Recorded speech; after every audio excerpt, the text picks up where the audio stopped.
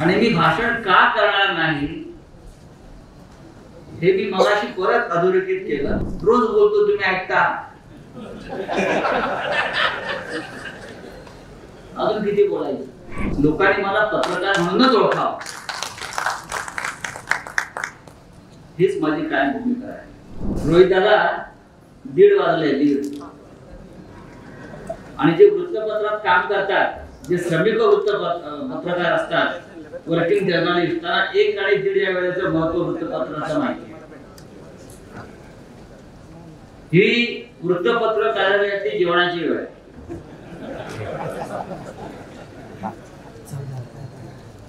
या वेळा लोक फील्डवर नसतात. त्याच्यामुळे समोर जे बसले आहेत ते माझे पत्रकार बांधव त्यांची नक्की मानसिकता काय आहे? हे मला माहिती आहे. मला जेव्हा इथे आमंत्रित केलं. पांडू. तेव्हा ते कळवलं की का भाषण करणार नाही. आणि मी भाषण का करणार नाही हे मी मगाशी परत अधोरेखित केलं. कारण ज्या पद्धतीची दोन जोरदार भाषण पत्रकारितेवर एस एफ देशमुख आपण आणि स्वागताध्यक्ष रोहित पवार यांनी केलेलं आहे त्यानंतर मला काही फार बोलावं असं चित्र राहिलेलं नाही. म्हणजे उत्तम पत्रकाराचं भाषण हे रोहित दादा पवार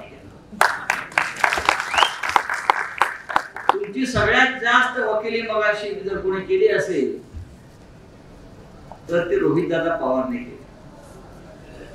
आणि म्हणून मला माहीत होतं की रोहित पवार हे अत्यंत अभ्यासपूर्ण पद्धतीनं पत्रकारितेवरती बोलतील. त्याच्यामुळे मला त्याच्यानंतर बोलायचं असल्यामुळे मी काय बोलणार? रोज बोलतो तुम्ही ऐकता.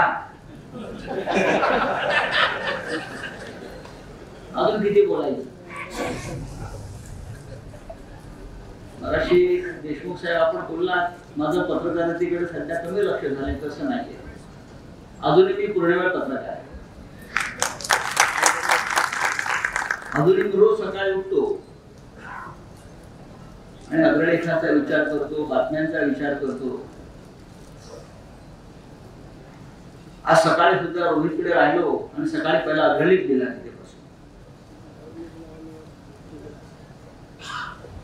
मला तुरुंगात पाठवलं मधल्या काळामध्ये. आणि त्यानंतर माझ्यावरती अजून एक खटला दाखल झाला. की मी आतमध्ये असतानाही सामनात अग्रलेख कसे? येतात तिथूनही लिहित होतो. जमेल तसं लिहित होतो. ज्याच्या रक्तामध्ये पत्रकारिता भिनलेली आहे तो कुठेही स्वस्त बसू शकत नाही. आणि आपण सगळे गावात तालुक्यात जिल्ह्यात पत्रकारिता माझ्या आयुष्यातली चाळीस बेचाळीस वर्ष या क्षेत्रातली. आणि मी खासदार झालो अनेक वर्ष मी खासदार आहे संसदेमध्ये आहे. शिवसेनेसारख्या मोठ्या पक्षाचा नेता मला बाळासाहेब ठाकरेंनी केलं. तरी माझ्या जीवनाचा जर महत्त्वाचा भाग कोणता असेल तर तो पत्रकारिता हाच आहे. लोकांनी मला पत्रकार म्हणूनच ओळखावं.